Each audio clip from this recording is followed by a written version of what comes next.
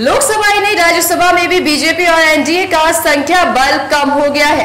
राज्यसभा में भाजपा के चार नव मनोनीत सदस्य शनिवार को सेवानिवृत्त हो गए और इसके साथ ही राज्यसभा में बीजेपी की ताकत घटकर छियासी और एनडीए की ताकत 101 हो गई है।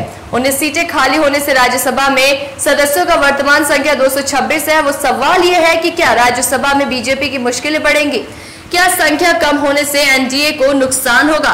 क्या एनडीए के पास महत्वपूर्ण कानून पारित करने के लिए पर्याप्त संख्या है या नहीं?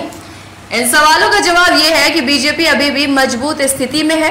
एनडीए के पास अभी भी सात गैर राजनीतिक नामांकित सदस्यों दो निर्दलीय और ए आई ए डी एम के और Y S R C P के सहयोगियों के समर्थक से आगामी बजट सत्र में महत्वपूर्ण कानून पारित करने के लिए संख्या है। लेकिन दूसरे ओर पर निर्भर कम करने के लिए नामांकित श्रेणी के तहत रिक्तियों को जल्द से जल्द भरना होगा। रिपोर्ट्स के मुताबिक राज्यसभा सांसद राकेश सिन्हा, राम शकल, सोनल मान सिंह और महेश जेठम, लानी मनोनीत है।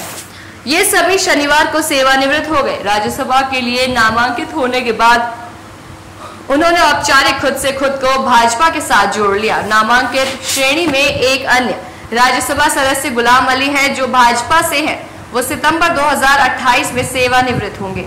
राष्ट्रपति सरकार की सिफारिश पर 12 सदस्यों को राज्यसभा के लिए मनोनीत करते हैं। वर्तमान सदन में उनमें से सात खुद को गैर राजनीतिक, यानी कि भाजपा का हिस्सा नहीं है, रखते हैं। लेकिन ऐसे सदस्य हमेशा कानून पारित करने में सरकार का समर्थन करते हैं।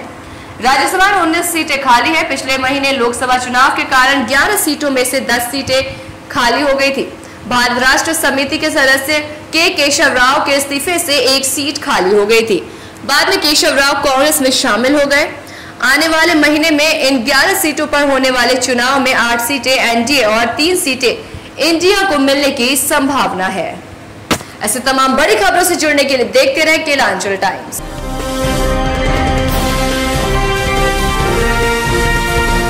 केलांचल टाइम्स, हर खबर पर हमारी नज़र।